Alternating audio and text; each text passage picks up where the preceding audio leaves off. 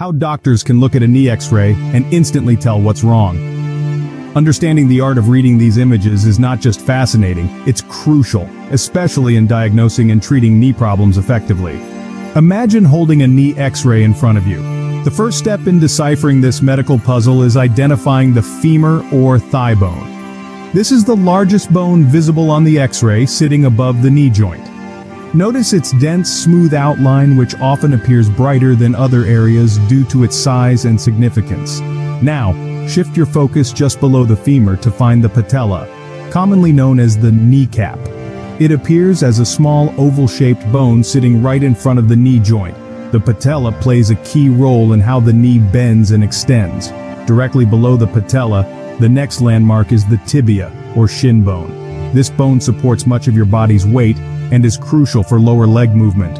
On an x-ray, the tibia extends downwards and is typically seen aligning with the femur at the top. Adjacent to the tibia, though slightly harder to spot, is the fibula. It's thinner, and often appears as a faint shadow alongside the tibia. Although it doesn't bear as much weight as the tibia, it's vital for muscle attachment and stability in the leg. Between the femur and tibia, scrutinize for the joint space. This gap is crucial as it indicates the health of the knee cartilage. A narrow or uneven space can suggest arthritis or other joint problems.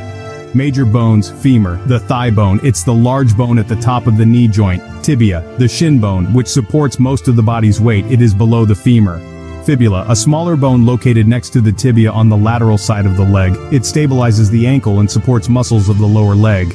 Patella, kneecap, patella, this is the small bone located in front of the knee joint. It protects the knee and increases the leverage of the quadriceps muscles. Epicondyles lateral epicondyle, a bony protrusion on the outer side of the femur, thigh bone.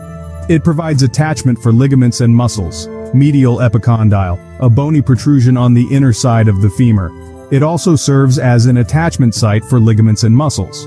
Condyles, lateral femoral. Condyle, the rounded prominence on the outer side of the femur that articulates with the lateral tibial condyle. Medial femoral condyle, the rounded prominence on the inner side of the femur that articulates with the medial tibial condyle. Lateral tibial condyle, the flat surface on the outer side of the top of the tibia that articulates with the lateral femoral condyle. Medial tibial condyle, the flat surface on the inner side of the top of the tibia that articulates with the medial femoral condyle. Intercondylar eminence, a bony ridge on the tibia between the medial and lateral condyles. It serves as an attachment point for the cruciate ligaments, which stabilize the knee. Head of fibula. The top part of the fibula bone. It articulates with the tibia and serves as an attachment point for muscles and ligaments. Joint spaces and articulations. Tibiofemoral joint. The main hinge joint of the knee between the tibia and femur.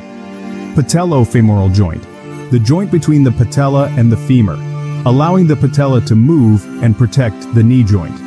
Additional anatomical features, adductor tubercle, a small bump on the medial side of the femur where the adductor magnus muscle attaches. Groove for popliteus, a shallow groove on the lateral femoral condyle for the popliteus muscle which helps in knee flexion. Intercondylar fossa, the depression between the condyles on the back of the femur where the cruciate ligaments are located. Joint spaces and articulations. Tibiofemoral. Joint. The primary hinge joint between the tibia and femur. Patellofemoral joint. The joint between the patella and the femur. Additional features. Adductor tubercle. A small bump on the medial side of the femur where the adductor magnus muscle attaches.